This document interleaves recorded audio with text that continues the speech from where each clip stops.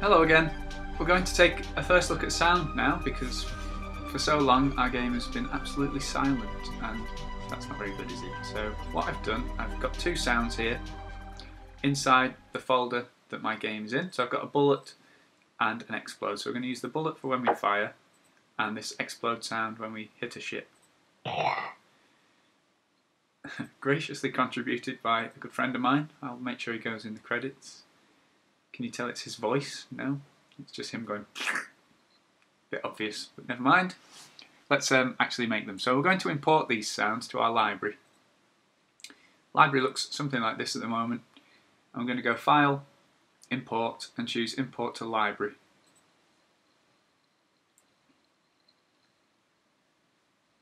Navigate to wherever we are, space game, and I'm going to take both sounds. If it lets me do both, yeah. So import them both, and there they are in the library.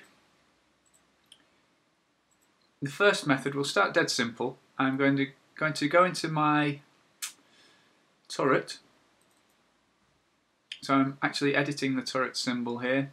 Let's have a look at the timeline, and we can see that when we fire, we actually play. So the easiest way to make a sound there, without even using any code, would just be to, if I make a new layer here, we'll, we'll do it on there. We'll have a layer called sound. If I make a keyframe, on that second key, on that second frame, make a keyframe, and open up my properties menu, I can choose a sound, and it'll look through your library and let you pick a sound. So I'm going to choose bullet.mp3. And the sync here, I'm going to leave as event. Event just means play regardless of whether it's already playing. It'll start a new version of the sound. The effect, I've never had much luck with them if I'm honest. I'm not entirely sure they work without extra tampering. And then the repeat, we don't want it to loop and I only want it to play once, so I'm going to leave the repeat on 1. Test my game there and every time I fire now we should hear that sound. I'll turn my volume up so the mic picks it up.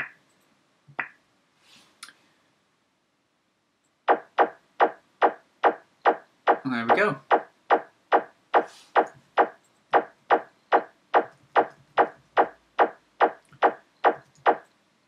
getting very annoying, but it feels like more of a game now. As soon as we get a bit of sound in there, it sort of makes us feel like we're really playing instead of just, I don't know, learning stuff.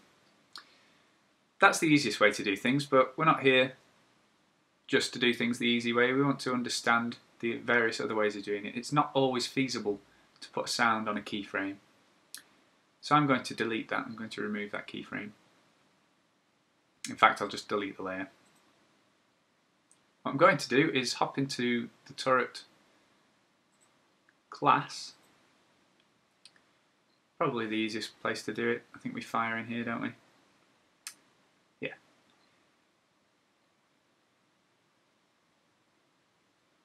Check the logic. If we're currently holding the mouse, fire, and just make sure that we only fire when we're allowed to. Yeah. Problem we might have is that we trigger this sound more than once, but it's uh, not a massive worry. Okay. Waffling aside, let's let's actually do this. So we're going to have to make an instance of our sound, which means if we go to the library, right click on the bullet sound here. Going to have to be careful because I've already got a movie clip called Bullet, so I don't want them to overlap. I'm going to right click and go to the properties of this, this sound and click on the ActionScript box and what I want to find is this export for ActionScript. I'm going to have a video on this box later on, a whole video on one box. This export in frame one thing becomes important when you're doing the loading for your game but for now we'll leave it ticked. The class, we can't use bullet because it's already taken so I'm going to replace that with bullet sound. I'm going to copy the base class because we're going to need to import that. Just copy that text. Press OK or update and go back to my turret class. So I'm going to import that sound library.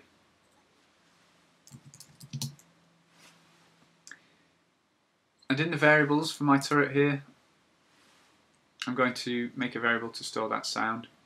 We could just store this in the level and make the level play the sound. I think that's the way I did it in the the example game. The level controlled quite literally everything.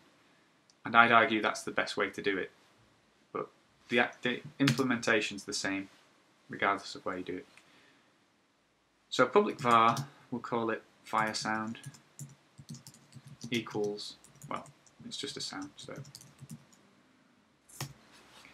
tell it's going to be a sound. So I've set the variable up. Here in the constructor, when we make the turret, luckily there's only one turret. If we had lots of, uh, say for example, with the ships, it's not a good idea to hold the sound in the ship because there's so many different ships. You're going to be making instances of this sound all the time when there's really no need. The level, that's why I control things in a level, can just have one instance of the sound and play it for every ship. So we'll do that that way when we come to do the ship sound. In here, I'm going to do fire sound equals new, and I believe we called it bullet sound. At least I'm hoping we did. Instance.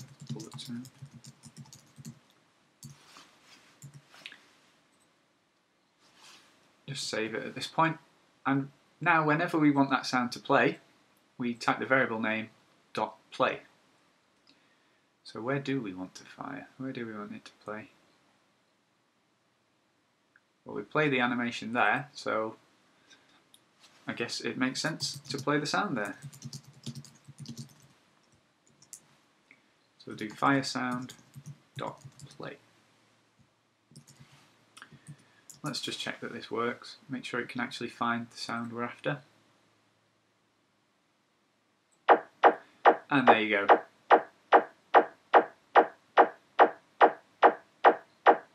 Very annoying. Let's do rapid fire just to make it even more annoying.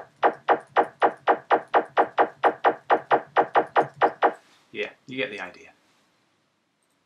So that's working.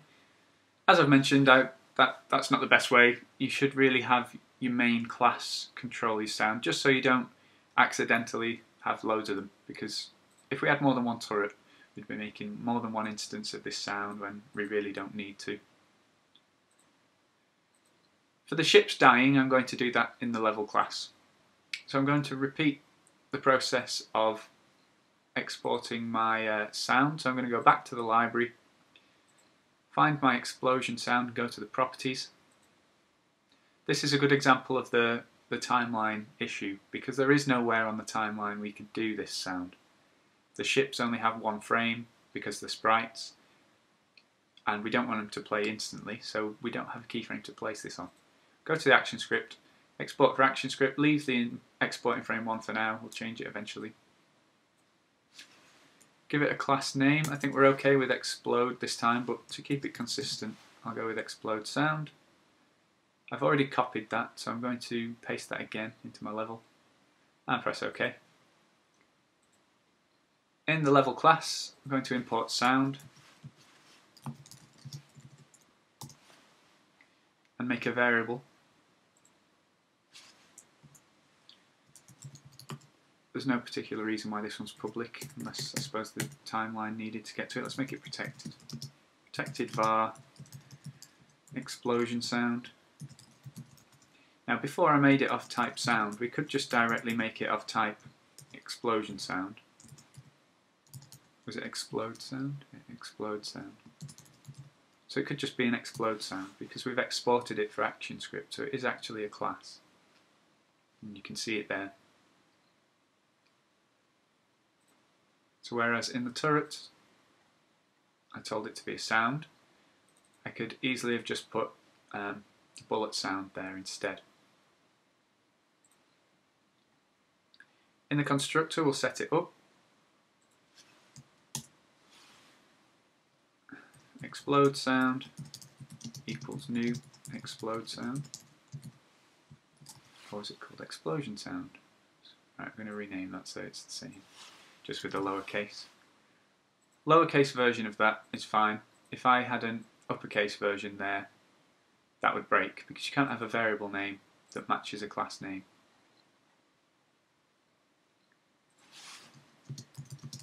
Make the explosion sound. And now every time we kill a ship, we want this to play. So let's find that part. In the do ships function.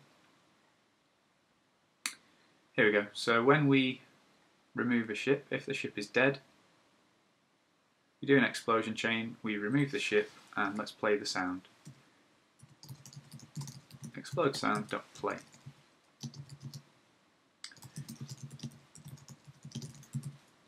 Save it and test it. When we kill a ship, it should explode. Woohoo!